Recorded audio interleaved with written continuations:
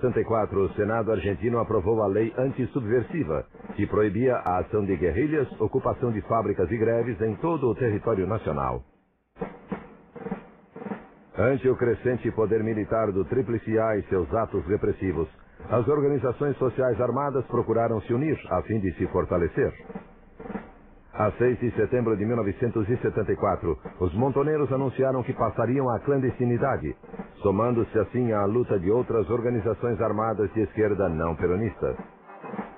Segundo os líderes da organização, o governo negligenciara o conteúdo popular e revolucionário do peronismo.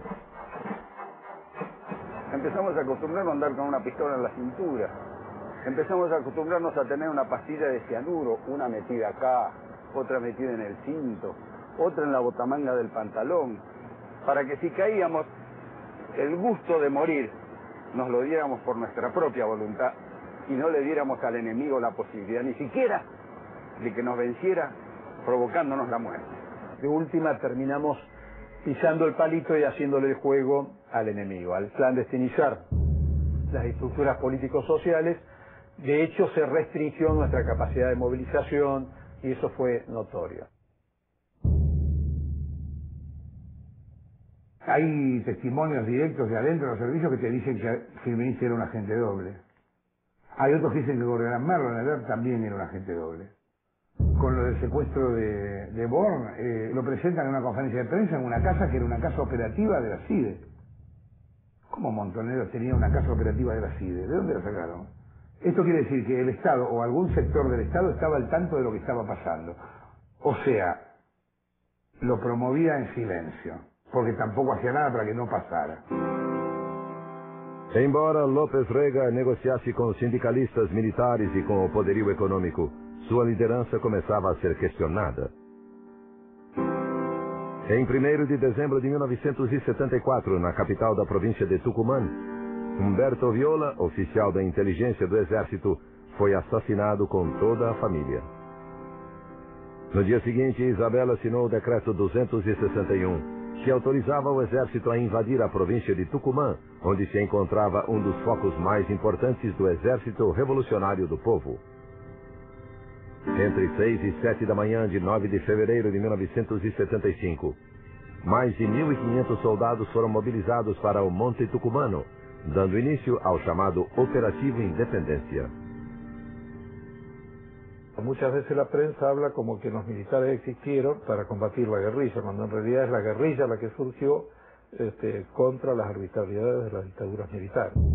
El primer acto político que realiza el PRT, que es el partido que, después funda el RP, eh, fue ir a las elecciones en la provincia de Tucumán en marzo del 65, unas elecciones legislativas durante el gobierno de India y después de, todos esos intentos realmente pacíficos a que la dictadura respondió con la, con la tortura generalizada, la prisión arbitraria y estos crímenes, recién de eso, en julio del 70, nosotros llegamos a la convicción de que había que resistir con las armas y ahí fue que se fundó el Ejército Revolucionario del Pueblo, ¿cierto?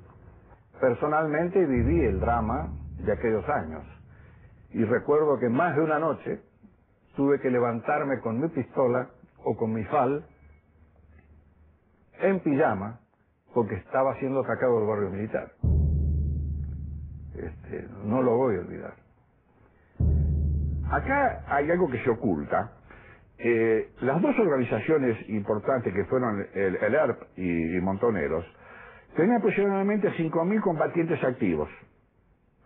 Pero atrás de ellos y hay una relación, se llegan los 28.000 que conforman toda la organización, porque el apoyo logístico era muy importante. La guerrilla nunca fue numerosa, o sea, acá no había 50.000 tipos armados. Hubieran ganado si había 50.000 tipos armados.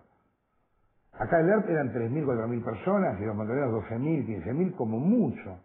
Eh, a montoneros en general le era el fenómeno inverso, le sobraba gente y le faltaba armas. El problema no eran las armas, el problema es quién empuña las armas éramos 5.387 militantes. Que eso, cada militante eh, tenía que tener una, por lo menos cinco, cinco activistas, digamos, eh, eh, con los cuales tuviera relación, quienes a su vez tenían que tener otros cinco, o sea, lo que implicaba una periferia organizada de más de 100.000 personas. ¿Nunca estuvieron en capacidad de ser una amenaza real a la Fuerza Armada de la República Argentina. Este, su primer intento de, este, de, armar una eh, guerrilla rural en la zona de Tucumán este, no duró casi nada, fueron realmente aniquilados en poco tiempo. Às quatro horas da manhã de 20 de março de 1975, no lugarejo chamado Villa Constitución, na província argentina de Santa Fé, 4 mil efetivos do Exército sufocaram um grande protesto de operários em diversas usinas siderúrgicas da região. Villa Constitución paralizó la ciudad por una marcha pidiendo elecciones democráticas del gremio. Y fue un ejemplo de, democracia sindical, digamos, porque esta era una lista disidente de la UAM Nacional que llevó adelante un paro heroico de más de 50 días y esto no es tolerado por la UAM Nacional, por la AAA, por el gobierno y por el ejército, que envía una fuerza represiva impresionante de más de 500, 500 personas. Ahí este, hay torturados, hay desaparecidos y es uno de los primeros campos de concentración de Argentina previos a la dictadura, inclusive durante el gobierno de Isabel. Depois dessa ação repressiva, o presidente da Asindar, José Alfredo Martínez de Ros, neto do fundador da Sociedade Rural e membro do conselho de numerosas empresas americanas, dedicou-se a enviar telegramas de dispensa a uma infinidade de trabalhadores, entre os quais havia mortos e presos.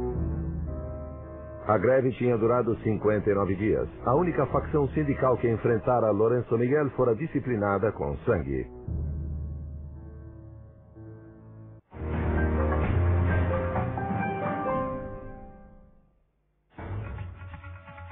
Depois, na Flórida, uma rede de pontes se une para conquistar a última fronteira, o mar. Mais tarde, os automóveis mais velozes que percorrem as ruas chegam às pistas de velocidade.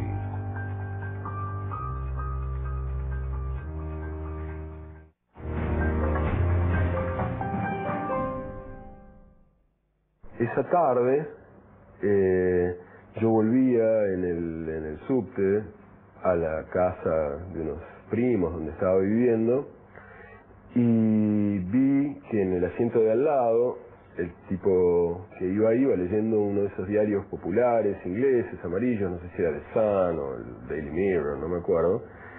Y el título, estaba leyendo un título en una página interior que era algo así como eh, Los militares echaron a la puta. Y yo lo me llamó la atención por lo florido de la frase pero no pensé que eso, no, no me di cuenta de que eso refería a nada que yo conociera. Pero el tipo cuando se bajó hizo algo que hacía mucho, por lo menos en ese momento, los ingleses dejó el diario ahí. Entonces yo lo agarré y me busqué esa noticia que me había llamado la atención y ahí vi que los militares eran Videla y compañía y la puta era Isabel Martínez de Perón y que había habido un golpe de Estado en la Argentina.